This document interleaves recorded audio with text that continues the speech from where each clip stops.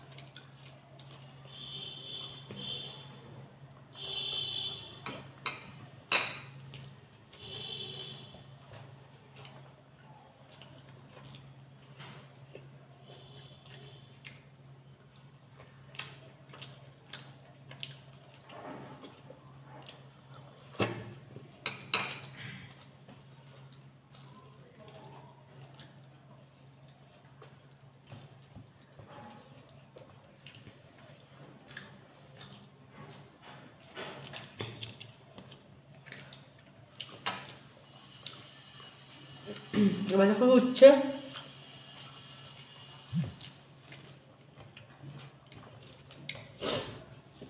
এরকম শুকনো ভাত দিয়ে রেসিপি আছে তিনটে।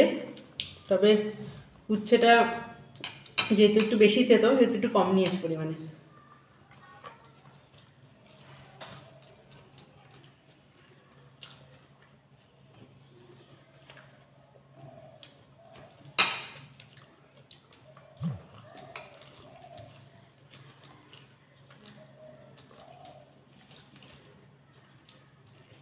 এবার দেখো খাচ্ছি সাদা শিম আলু সেদ্ধ।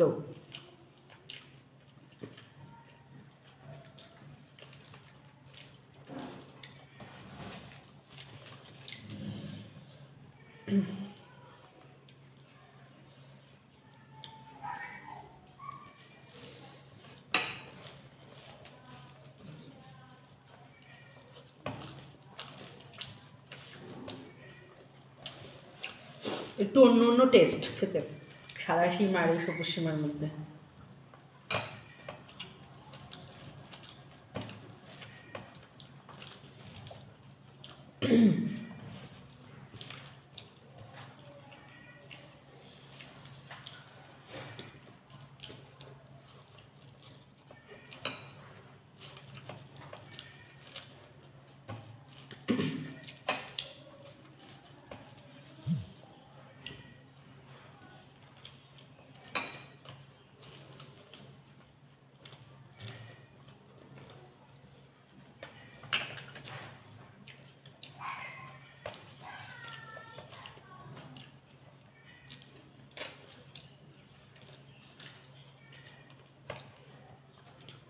শিমটা দারুণ লাগল খেতে।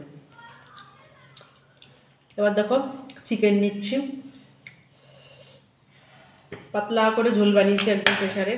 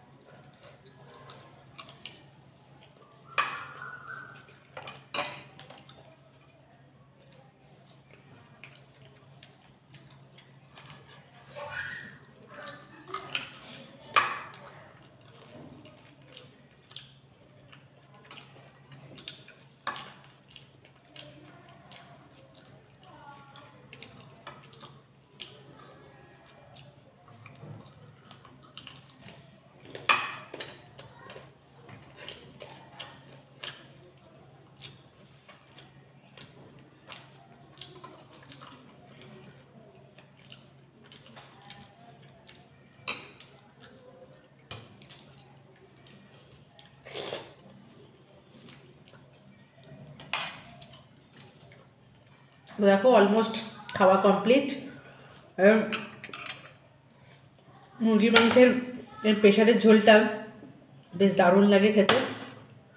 তো আজকের ভিডিওটি যদি ভালো লেগে থাকে, তাহলে অবশ্যই একটা লাইক কমেন্ট শেয়ার করবে। আর যদি তোমার কোনো নতুন বন্ধু হয়ে থাকে, তাহলে প্লিজ চ্যানেলটিকে সাবস্ক্রাইব করে দেবে। তো আজকের মতো এইটুখানি। আবার কালকে নিয়ে আসছি অন্য কোনো একটা নতুন ভিডিও নিয়ে। তোমরা সাথে থেকো তোমরা পাশে থেকো। তো আজকের মতো টাটা!